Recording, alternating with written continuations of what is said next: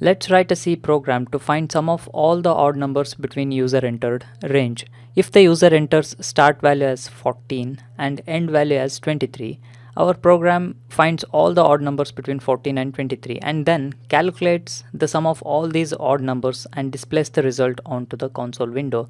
In this case, the result is 95. Okay, so let's write the C program.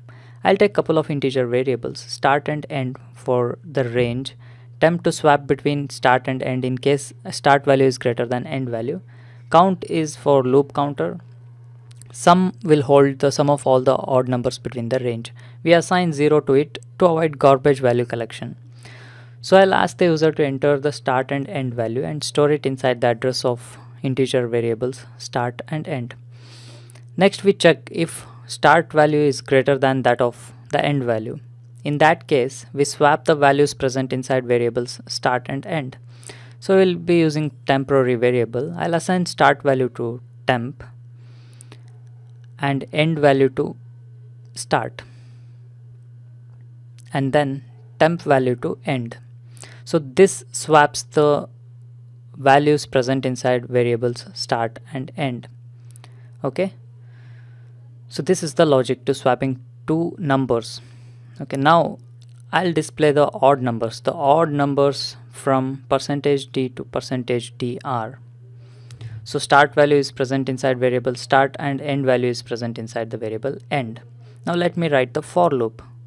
For we initialize count to start. We iterate this for loop until count is less than or equal to end value. For each iteration of this for loop we increment the value of count by 1 so now if the value of count modulo division 2 is not equal to 0 in that case the value present inside count is an odd number. So let me print that out to the console window.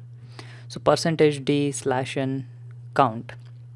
So this logic prints all the odd numbers between user entered range. Let's check that out. I'll give 2 and 10 so it prints all the odd numbers between 2 and 10 okay 3 5 7 and 9 are the odd numbers between 2 and 10 so let me also calculate the sum of all the odd numbers between the range. So I'll paste this here.